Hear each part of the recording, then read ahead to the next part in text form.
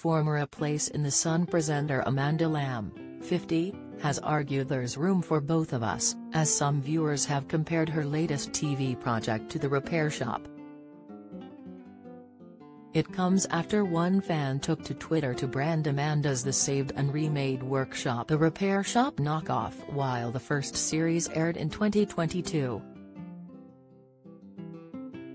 Despite the criticism, Amanda explained she is unfazed by the more critical comments from some social media users, as Terry's only a certain amount of ideas that you can possibly have in the TV industry. Speaking in an exclusive interview with Express. Co.uk about Series 2 of her popular Really series, Amanda shared, there were lots and lots of very unusual emotional, sentimental items brought in, and I think that's what makes the show so intriguing to watch, because you never know what's being brought in and what they're going to make out of it. And I think that someone asked me earlier on what the difference is between this and the repair shop, which I absolutely love, it's one of my kind of top 5 favorite programs. The difference between ours and the repair shop, is that the repair shop repair things. So someone will come up with a painting that's got a hole in it or whatever, and it will be repaired to look like how that painting was before. Whereas with us, someone will bring in, I don't know, some jewelry, or an old doll's house, or a stuffed teddy bear and it then gets transformed into something completely different. And that's what's interesting about it, and that's what I loved. You know, I never knew from one moment to the next A, what was being brought in, and then B, what it was going to look like once it was done. When quizzed on whether she finds comparisons to the repair shop unfair, Amanda replied, No, I don't at all, because I think the thing is with TV, Terry's only a certain amount of ideas that you can possibly have. Don't miss.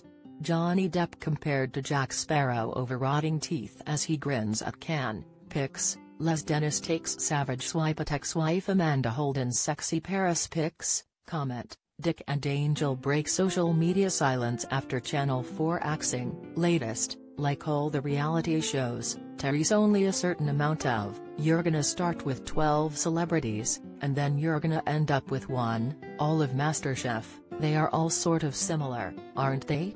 So no, not at all, I mean, I think Terry's room for both of us, thankfully. Amanda went on to reveal that the toughest part of filming the series for her, is not letting herself get swept up in the tear-jerking aspect of each episode. She told Express.co.uk, the hardest part is, not crying, which I was absolutely useless at for both series. The thing is, for me, when I found out that I got the job I was delighted, because it has all the elements in it for me that I love.